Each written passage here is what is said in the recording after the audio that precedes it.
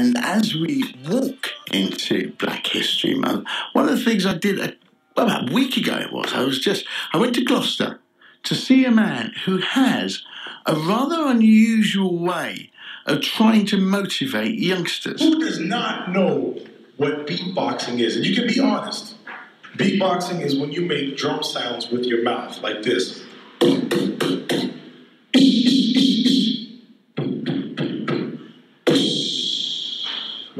All together, hello, come on in, come This on is in. uh, Sean Mauricette, aka Subliminal, all the way from Toronto, Canada. My mother's from Trinidad, and my father's from Grenada. My grandfather, my, my father's father, who's actually from St. Lucia, was part of a band back in the 1930s called the Harmony Kings.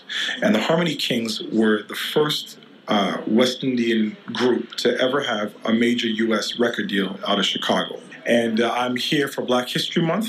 Uh, I'm an entertainer, actor, motivational speaker, beatboxer, DJ, lyricist, producer, uh, jack of all trades. And I'm here to, uh, this month in particular, I'm here to motivate the youth uh, right across the UK.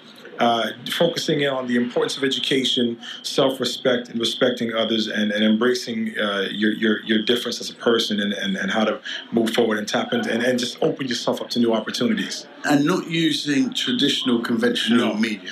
No, no, no. One thing that I did leave out is I have a degree in architecture. Uh, so I'm good at building things. And so I've put together a very unique and edutaining, that's the term I use, it's an educational and entertaining uh, series of workshops and panel discussions and talks and so forth. And I'm going to be motivating the youth to, to chase their dreams using my experiences in film, television, music, movies, and of course my background in architecture. breakdancing when I was little, thought it was Michael Jackson, jumped to my feet, ah, I heard the crowd start to erupt. I felt so good. And all the time, I'm developing this thing called self confidence. Self confidence. What is self confidence? You guys know what that is, right? So how did you get through So the, what's how did you move from architecture to doing what you're doing? Um, wow. Well, I mean, um, I've always been performing since I was very young. And uh, once I graduated school, I was uh, already producing uh, theme music for the second largest radio show in, in North America. Uh, I ended up auditioning for this television show. And uh, the executive producer took a real liking to me and saw the ability that I had to act on camera. Uh, and so I began to audition for various roles. And I got aligned with an agent. And that's how I sort of entered into the, the film and television industry. I use stories from my life to motivate the youth.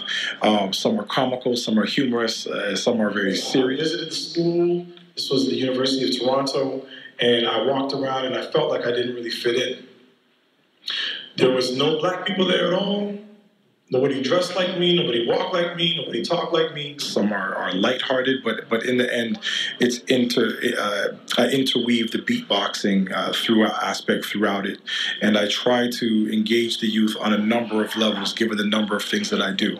So uh, since we know we have a lot of kids that want to be actors, we got a lot of kids that want to rap, we want to they want to write poetry.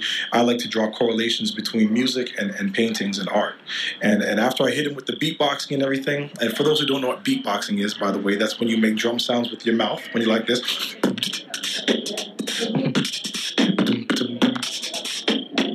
So we like to engage them on a number of levels. So you're gonna you're gonna see quite the You presentation. learn, did you learn to beatbox before you studied architecture? Oh, did it man. happen during or after? Here's the here's the really really short short story. I first well I don't want to give it away because these guys are listening. I was six years old. Do we have anybody here that's six?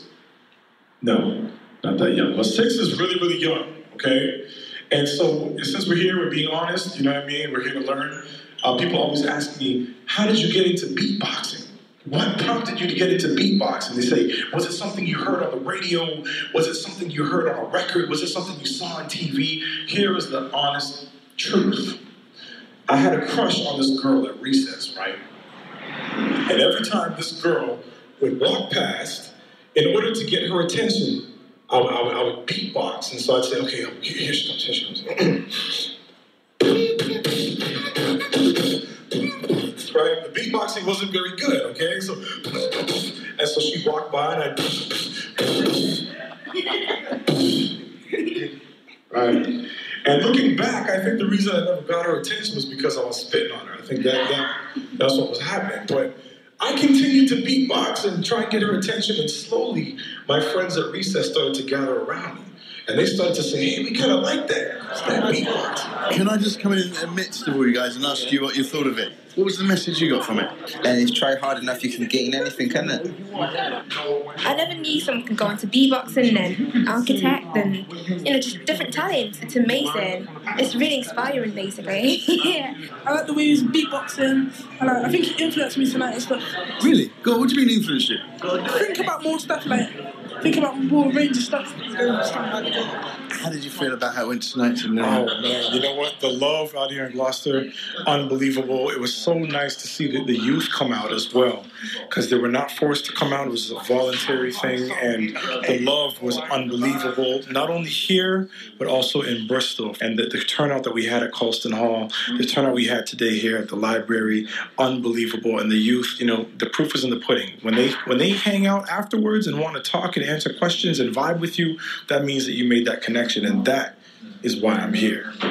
Sean Mauricette, uh, aka Subliminal, at Gloucester Library, and he was also in Bristol and is going to be touring the country at the moment as part of the Black History Month celebrations. A really amazing man, and I broke one of my rules whenever I go off and I record something. I try and just record little nuggets, but it was so inspiring. It was so uplifting. I ended up recording the whole lot. So actually, you might get another snippet of that soon.